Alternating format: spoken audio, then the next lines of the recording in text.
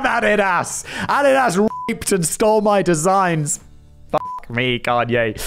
Boom! Oh, y'all just got lit up. Today's video is brought to you by Backblaze. More on them in just a bit. Hello, everybody. Welcome back to another episode of Brainblaze. I, as always, I'm your revered leader, Simon Whistler here. One of my writers writes me a script. Thank you, Danny. Uh, celebrity endorsements that backfired. And today's video sponsor is Established Titles. Do you want to become a lord? Ah, it's not. It never has been. Never been sponsored by them, despite what everyone on the internet keeps fucking telling me. Fuck off. Ah, Jesus Christ. Um. I feel like Hulk Hogan would probably make an appearance in here, doesn't he? Didn't he go through a phase of like endorsing like macaroni and shit? I guess it didn't backfire. It was just a bit weird. Let's go. Oh, celebrity endorsements that backfired. if Kanye West doesn't come up, then uh, Danny wrote this script before the whole Kanye became an anti Semite and not even Adidas can drop me. And then, boom, Kanye, they dropped you like a fucking rock. Maybe they could get The Rock instead. He'd be. That'd be cool. Maybe they could do some like rock shoes. I don't know anything about this stuff. I, I didn't. If someone asked, he does Yeezy shoes. I didn't know they were with Adidas, and I don't know what they look like. If someone like took a pair of shoes, and what are those other super famous ones? Um, are they called Air Force Ones? And they've got something to do with basketball. I believe they're made by Nike and they look like basketball shoes. I couldn't, if people said, like, here's some basketball shoes, choose the Air Force Ones, I could not do that. I could try, but I probably, unless they say Air Force One on them, I couldn't succeed. Also, why is there, why is it called the, the name of the president's plane? That's weird. Anyway, let's crack on. Fascinating tangent, Simon. Let's carry on. It's an important morning at the headquarters of Happy Hippo Space Hoppers in New York. The marketing team have been negotiating with the agents of a slew of A-list celebrities who are interested in endorsing the next generation of inflatable bouncy hippo hopping in return for a big fat slobbery check. They're gonna make that bag! and now they're ready to present the final shortlist to the CEO. Unfortunately, the jubilant mood is somewhat punctured when the names are proudly announced. Lance Armstrong, R. Kelly, Oscar Pistorius. Uh, Lance Armstrong, I feel like Lance Armstrong, while he cheated, he didn't. His like crimes are not on the same level as R. Kelly and Oscar Pistorius. He went to prison for murder, right? Didn't he?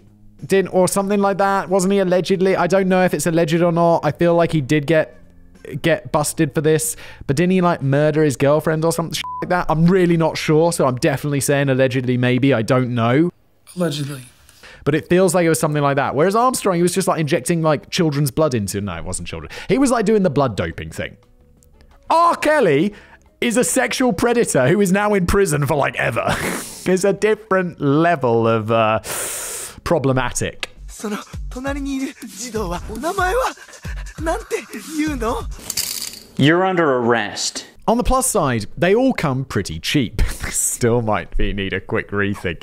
Kanye West has very recently, bingo, illustrated how badly celebrity celebrity endorsements can backfire and how costly the fallout can be. We've got a very special special. It's like a it's not quite like it's not an hour long, but it's a longer one and it's it, it's coming I, I hope it'll be released on uh, New Year's Eve, so 31st of December this month, and it highlights some of the uh, the worst business decisions of 2022. Some of them we've covered, but it feels like they've all happened rather recently. So, like Kanye West, Elon Musk. Um, God, there was another one about something. It doesn't matter. Wait till the end of the year. Get excited.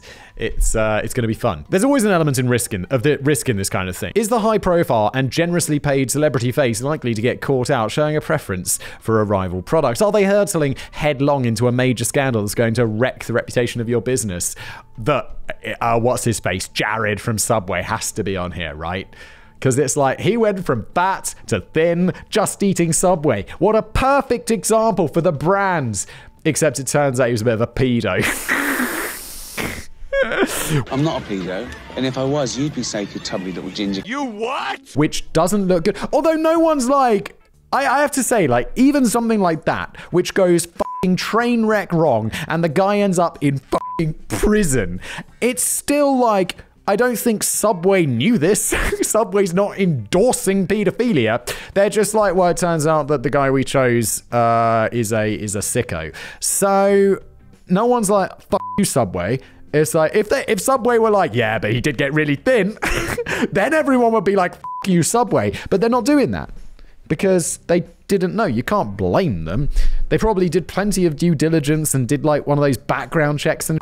He just obviously hadn't been caught for being a sicko yet. Are they suddenly going to start randomly behaving like a massive bellend? We'll return to Kanye in just a moment, but he's certainly not the only case of a lucrative endorsement resulting in tears, headaches, embarrassment, and sharply plummeting graphs.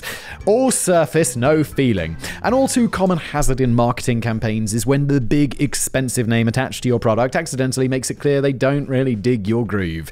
Oprah Winfrey appeared to be quite taken by Microsoft's new Surface hybrid tablet computer, adding it to her 2012 list of favorite things and regularly singing the praises of the device on social media.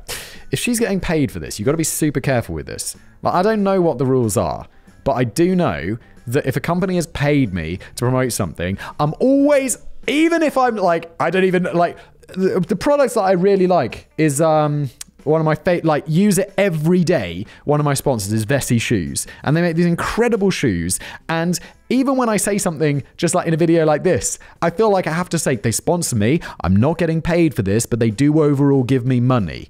Even though I'm generally like, this is a fantastic product. Like, I would say that if they didn't pay me to do it. Like another company I talk about all the time, Revolut, the banking app. They've never paid me. I don't take any money from them. They're not a sponsor, but they're fantastic.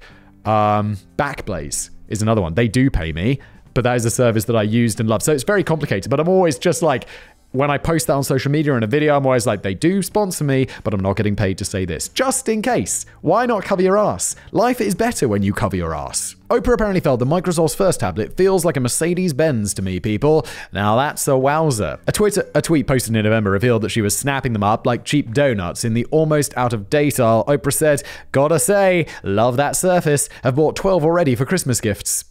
Did you buy them, Oprah? Oh no, she didn't. Did you buy them? Because I feel like like I've never bought Vessies because then I can't actually get them shipped here because they're not available here. But uh, they give them to me for free, which is awesome. I've got like five pairs, and all, I keep two like nice and clean, and I don't use them because I use them on the camera. But no one cares. Let's just move on. Let's talk about Oprah. That's what you're here for. You're not here for my little sponsorship deals. You're here to hear about what Oprah's done. It must be nice to be on Oprah's Christmas list, considering that these fetch $499 a pop for the basic version. But not everyone may have been impressed by the gesture. The original Surface was heavily criticized for its performance and limitations, and the poor sales led to Microsoft taking a hit to the tune of 900 uh, and 90 million dollars. God damn, I just burped in the middle of a word. I mean, basically, in the middle of a number. Great job. It's not clear how much Oprah was paid to bang on about it so relentlessly. Maybe she genuinely loved it and just wanted to share her new independent discovery. I doubt it though, because you'd think that if Oprah was so in love with the Surface, she'd be using them to post that tweet. Oh, it says posted from iPad or whatever, doesn't it? Oh no. Instead, anyone using a dashboard application such as TweetDeck could immediately see that Oprah's tweet had in fact been posted on an iPad produced by Microsoft's biggest fruity rival. It's often argued in Oprah's defense that there wasn't yet an official Twitter app release for Windows 8, the operating system on the Surface, so she had no choice but to whip out her iPad. But I'm not buying that, nor am I buying 12 Surfaces for Christmas gifts. Surface is still around though, right? They still make it. It must have got okay at some point, or Microsoft just keep pouring billions of dollars into it until people love it. You will love it! Do it. She could have just opened Twitter on a web browser on the surface. Yeah, she could have, but she's not an animal. Like, why would you like things I don't use on my like? If there's an app, well, I suppose there's not an app. That's the point. But you've got to be an insane person to be like, yeah, no, I just don't like. If if if I use, was using Twitter in my browser on my iPad, it'd be like, what's going on?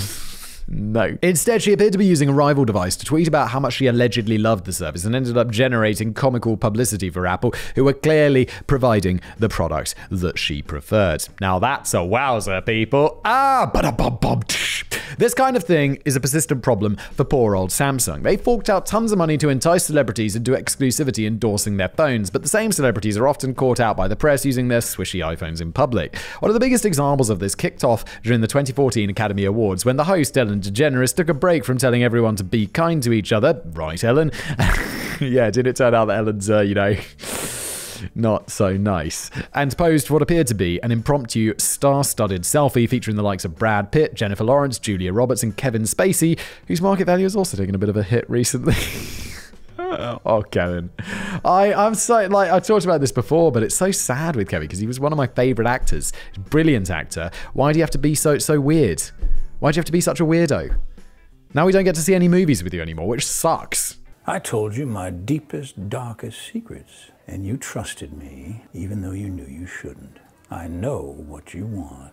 The fuck? The selfie temporarily broke Twitter after it was posted live on the show, and it went on to break the retweet record at the time, generating just under 3 million retweets, although it's since been pushed down to fifth place. The current biggest belongs to some Japanese billionaire who was giving away free money. You can't compete with that. no, you can't. Ellen's super selfie was taken with a Samsung Galaxy Note 3. You can't help but notice this, as Ellen was dramatically waving it around for ages, almost as if she was doing it on purpose. Oh, really? How do people get away with this? Like you have to be so dis like uh, uh, it just always seems like YouTuber and in the dashboard they're like, does this post contain sponsor? You're always having to bang on about this for whatever reason. Like, how do you just like I don't know. It feels like you have to shouldn't you have to disclose this somehow? And quite right too. Although Samsung denied paying anything directly to Ellen, they had pumped over $25 million into the Oscar ceremonies over the previous five years, to the point where critics were complaining that the whole thing was beginning to devolve into one giant commercial for the South Korean company. Wait, so what's uh, what if Ellen's not getting paid and she's waving it around and they just happen to be handing them out free at the thing? I mean, if you got it for free, do you have to like? That's you didn't get paid. You just got it for free. They just gave it to you. Does that? I don't think that does that count. I don't know. I don't, maybe it does. I I don't really get stuff for free unless I'm getting paid to promote it. Like companies will send me stuff like for free, and I'll be like, okay, thanks. What do you want me to do? I'm not gonna like talk about it on the the video for free. I mean, that's not how this works. so, okay. The problem for Samsung is that when Ellen tweeted backstage throughout the rest of the show, all the tweets were posted for one of those pesky iPhones. It was almost as if Ellen had been instructed to wave about a Samsung phone for a bit for the big celebrity selfie, but had gone back to using her personal iPhone when she figured nobody was looking. And now the massive wave of publicity generated by the record breaking tweet was partly serving to highlight how Ellen only resorts to using a Samsung when her hand is forced. In fact, the whole impromptu selfie moment had been a rehearsed thing to some degree, and official Samsung observers had expressed concern over the fact that Ellen was using her own iPhone in rehearsals. How about you f off Samsung? Let her use whatever you want. If you want to pay her to use one of your phones, do that. And then if you've got a problem with her using an iPhone, then you can have a problem with that. But if you're not paying her, what are you talking about? That'd be like if someone sent me a Samsung. If, if Samsung sent me a phone and then were disappointed I didn't use the phone, I'd be like, Samsung, you're not paying me to use the phone. I'm going to use my iPhone like a normal person because I'm not insane. A few difficult conversations followed, after which Ellen was kindly gifted a Samsung Galaxy Note 3. But she appeared to ditch this new gift when she was quietly tweeting backstage, much to the annoyance of the company that was ploughing millions of dollars into this backslapping and occasionally face slapping nonsense. Ah, Advantage Apple. Again. Yeah, look, Samsung, if you made a phone that was as good as Apple, then all the celebrities would be using it, wouldn't they? The thing is, you make a phone that is slightly cheaper and celebrities have lots of money, so they're just going to use the, the more expensive and better version. In fact, it's not it that just like most people, right? Because iPhones are just better. Don't get on to me, Android people. I tried one of your Samsung phones for six months and I hated it. And then because I was pissed off that Apple kept screwing me. This was back in the day because the battery sucked, and I'm like, the batteries always suck after a while. So I tried. I bought the like fancy ass Samsung phone, and I was like, no, no, no. And then I bought a new iPhone and I was happy again. So let me interrupt today's video to tell you about one of my favorite sponsors, keeping me safe, keeping all, like, I make a lot of videos and these videos need to be backed up. If like my hard drive crashes and it all goes away, I don't want to have to make this all again. It's, it would be a disaster. And Backblaze stop that from happening. Backblaze costs just $7 a month, which is an unbelievably good deal considering that they provide unlimited backup for PC or Mac. Movies, music, photos, videos, projects, all the data, all the data you have. And believe me, for me, it's a lot of data and it's still just $7 a month. It doesn't matter how much you use, you can just keep it all going. And it works uh, automatically. Like anytime that I, I like add some, like one, once we're done with this, I'll add this to my computer, I'll offload the files and it'll just start syncing automatically with Backblaze. I just leave my computer running all the time, and then at night it's just like and it sends all my files away to Backblaze with like nice fast internet, which is just brilliant. You don't even have to think about it, and then you're like nice and safe. No like backup disks anywhere or anything like that. They've restored 55 plus billion files for their customers, and you can also download the files. That's a nice that's a nice thing. You got fast internet, you can just download your backups, or if you got slow internet, they'll send you out a disk, and you can send the disk back to get a refund, or you can keep it, and there's some fee for you buying the disk off them essentially, which is just great and easy. Look, you get a 15 day no credit card required trial at backblaze.com slash blaze. That gives you plenty of time to try it out, check things out, and look, I love it. I'll think you'll love it. It's a free trial without a credit card. What have you got to lose? It's backblaze.com slash blaze. And then if you like it, keep it. It's seven bucks a month for a peace of mind. It's super great. Backblaze, thank you very much. And now back to today's video. The Samsung Note 3 was destined to make more headlines for all the wrong reasons in the very same year when one of the greatest basketball players of all time, LeBron James, posted a clearly distressed tweet to his 12 million followers. My phone just erased everything it had in it and rebooted. One of the sickest feelings I've ever had in my life. Just if you were using like an iPhone or whatever, it'd just be all within the um, iCloud. What's going on? Poor old LeBron, even NBA superstars can fall victim to technology fails. But the thing is that we all knew exactly what type of crummy phone had done this to LeBron. It was his Samsung Galaxy Note 3. And the reason we knew this, it was the only phone that LeBron currently used, as he had been a massive Samsung endorser since 2010 and had been paid over a hundred million dollars to promote their wonderful devices, which apparently erase everything, reboot, and then leave you with the sickest feeling you've ever had in your life. Oh my god. Like, I sometimes think that I get paid quite a bit of money for my sponsorships and stuff, and then you this guy got paid a hundred million dollars to just use a fucking Samsung. Look, I, I, take back everything I said. Someone pays me $100 million. I will never use a phone again. God damn. I'll go back to a fucking pager. Here's a bit of good news though. Within 10 minutes, LeBron had deleted this tweet and replaced it with something more uplifting. Close call, phew. Got all my info back. Gamer, lol gamer. What does that mean? This clearly proves that it only takes 10 minutes to sort out even the most severe problems with the Samsung Galaxy Note 3. Either that or the very same Galaxy Note 3 suddenly went mental with angry calls from Samsung executives who were keen to know why they were paying LeBron $100 billion to diss their phones. Mwah.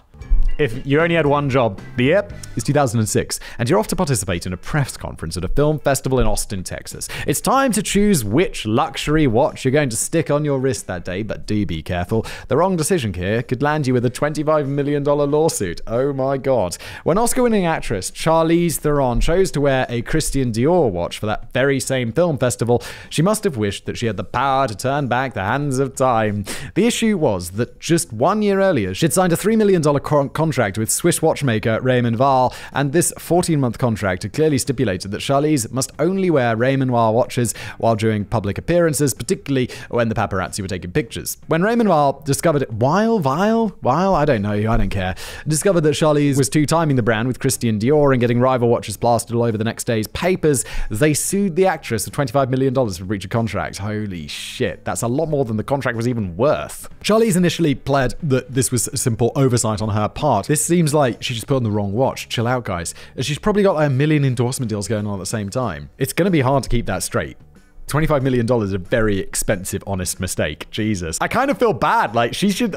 And I also can see myself being in a position like this where I'm like, oh my God, I made a very expensive up. I'm so sorry. 25 million? Oh my God. I am never going to financially recover from this. I hope this works out okay for her. Sure she must be mega rich. I'm sure it's fine. But even $25 million, that's a lot of money to even very, very rich people. I mean, like celebrity rich, not like Elon Musk rich. And it did appear that she'd just gone into a bit of muddle with their endorsements, as she'd also signed a separate contract to endorse Christian Dior perfume during the same period. But I'm not convinced that this is so hard to get right. If somebody was paying me $3 million to exclusively wear Raymond Weil watches at public events, I'd at least take the time to write a little post it note and leave it on the fridge as a handy reminder. Just something along the lines of watches Raymond Weil. Whiffs, Christian Dior. Space Hoppers, Happy Hippo. Yeah, it's, yeah, that's fair. Like, if someone was paying me that amount of money, I'd take my other watches and I'd put them away in a box and I'd leave a little note on top that said, just don't wear these at all, just in case, until XY date when the contract ends. And then you can go back to wearing these other watches, right? I'd do that. I feel like I would do that. Yeah, even if I had loads of endorsement deals going on, I feel like that's just one thing I'd be like, or my lawyer would be like, how about you just put a little postage note on there? Post it note. Come Come on. It's not that hard. Failing that at those prices, I'll be tempted to just chop off the other hand as a handy visual cue. It turns out that the contract had included wider stipulations about wearing only Raymond Weil jewelry in general, stipulations which Head in the Clouds Charlize had repeatedly broken over the course of this brief window of time. Both parties agreed to an undisclosed pre trial settlement at the 11th hour in 2008, but only time will tell if Charlize learned from her mistakes. I imagine the amount was something like the amount on the original contract, right? She probably just had to give back the money she paid and their legal fees and such. $25 million just seems a bit heavy handed, doesn't it? Here comes Kanye biggest rock star on the planet with a taste for absurdly expensive trainers, has been generating headlines for all the wrong reasons in 2022.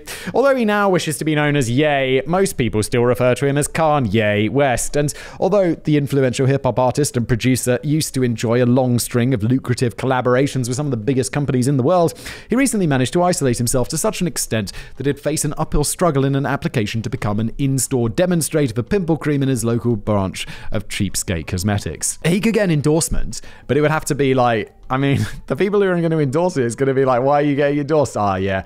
It's just going to be like far right political parties. Uh, a guns, a, a store that sells Nazi memorabilia. That's the people who are going to be endorsing Kanye West from now on. It's crazy. He's hardly a stranger to controversy over the years, but as most of his sponsors, most notably long term collaborator Adidas, tended to stick by him through every controversial step. For example, when Kanye declared in 2018 that 400 years of slavery was an African American choice. Oh my god, I don't even remember that. Dude. Adidas CEO Kasper Rorsted didn't seem too bothered. He noted, Kanye is a very important part of our strategy and has been a fantastic creator. I'm not going to comment on every comment he is making.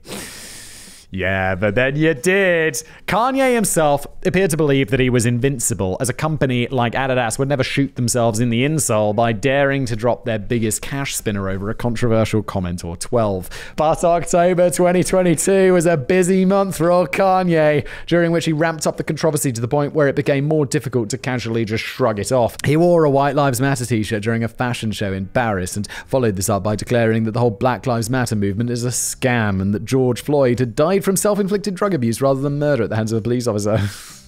What are you, fucking stupid? I don't even know what to say. Around a week later, he was posting a string of anti Semitic comments on Instagram, during which he reached the startling conclusion that rapper, Puff, rapper Puff Daddy was being controlled by Jewish people. Okay. And isn't it P. Diddy? After being booted off the platform, he turned to Twitter, where he revealed to his 30 million followers that he was feeling sleepy right now, but he planned to go DEFCON 3 on the Jewish people that following morning. Need my coffee before I go all DEFCON on the Jews. This was presumably a con- confused reference to the military term DEFCON, describing the intensity of a national threat, so we should perhaps be grateful that he at least wasn't committing to DEFCON 1, which may have been proper nasty. We'll never know what he had planned, though, as Kanye was swiftly banned from every social media platform. I feel like this is one of those tweets that you'd just be like, bro, I know, I know, I know I shouldn't drink and take Ambien, but I did. I did and I regret it. I'm sorry. I'm giving this lasagna a massage while preparing to announce I'm joining ISIS. Because while you'd get cancelled into oblivion, you could work your way back from that, couldn't you? Maybe, maybe not. DEFCON 3 on the Jews is fairly, that's fairly intense. And a few days later, Vice reported on some of the unaired material from Kanye's recent interview with Tucker Nelson on Fox, in which the hip hop star let rip with a barrage of statements which were racist, anti Semitic, conspiratorial, and downright alarming. Kanye's sponsors could no longer look the other way. He was dropped like a hot potato pancake but by pretty much every brand with financial ties to the artist, including Balenciaga, Footlocker, TJ Maxx, JP Morgan Chase, and even his talent agency. And yes, Adidas eventually severed ties with Kanye too, but they didn't half drag their high heels about it, only deciding to ditch the artist a couple of weeks after everyone else had shown him the door. Yeah, because it was worth so much money. Yo, that is messed up, yo. I'm a genius, all right? I'm the most talented musician in the world. You'd think that the dubious origins of a company like Adidas, which was founded by members of the Nazi Party, may have inspired them to act a little quicker in condemning the anti Semitic rants. Even their own employees were venting frustration over the lack of action, including their director of trade marketing, who declared, Until Adidas takes a stand, I will not stand with Adidas. When your own, like, C level execs are rebelling, you gotta you gotta do something Adidas. you got to do something anyway. Like when one of your main people is like spouting off like anti-Semitic shit this time, especially when you have like a history of with the Nazis. Shit, guys. All day I dream about anti-Semitism. Ah. When the company did eventually release the inevitable divorce statement a couple of weeks later, all the belated hand wringing about Adidas refusing to tolerate anti Semitism and hate speech rang just a little hollow because of the amount of time it took for them to get there. Of course, it's not hard to see why Adidas was so hesitant. After they first hooked up with Kanye in 2013 to produce his Yeezy branded trainers and clothing collections, it was heralded as the most significant partnership between an athletic brand and a non athlete. Those Yeezy products generated $2 billion worth of sales in 2021 alone, and the company's decision to cease production and sever the partnership will reportedly result in a painful hit in the region of $246 million. Perhaps that's why Kanye still felt he was untouchable. These words would quickly come back to haunt him. I can say anti Semitic and Adidas cannot drop me. It's also possible that the final decision from Adidas was fueled by more than just Kanye's hate speech. He'd been acting like a pain in the ass for a while. It earlier publicly accused the company of stealing his designs for use on non Yeezy products. It was also alleged that he was constantly badgering the company for more revenue, regularly harassed and insulted employees, insisting on showing everyone pornography on his phone during business meetings. Bloody hell. And was demanding that Adidas give the job of CEO to his mate. Upon hearing of his dismissal from the collaboration, Kanye gave a thoughtful and considered response. Not really. He said, Fuck Adidas. I am Adidas. Adidas raped and stole my designs. Fuck me, Kanye. It, uh, how then? Okay, boom! Oh, y'all just got lit up. Ultimately, the company hardly came out of the saga with flying stripes, perhaps only following the example of other collaborators when they realized the situation had become completely untenable. But Kanye will also feel the pinch on his own wallet. The billionaire has complained in the past that Forbes can't count and that his net worth is always dramatically undervalued on their rich list. If Forbes estimate Kanye was worth $1 billion, Kanye would rant that he's worth well over three. It shouldn't need to worry, though, about that for a while, as termination of all these lucrative business collaborations has seen his net worth plummet to $400 million. Fucking peasant. Kanye was last seen getting briskly escorted from the premises of Skechers HQ in Los Angeles, where he turned up uninvited, presumably touting for a deal. Since writing this, he showed up on Alex Jones's show. oh my god. Skechers were having none of it. Perhaps somebody should have told Kanye that Skechers was founded and is still run today by a Jewish family. Oh, Kanye, no. No wonder they went DEFCON 3 on him. And that's where we end today's video. Thank you for watching.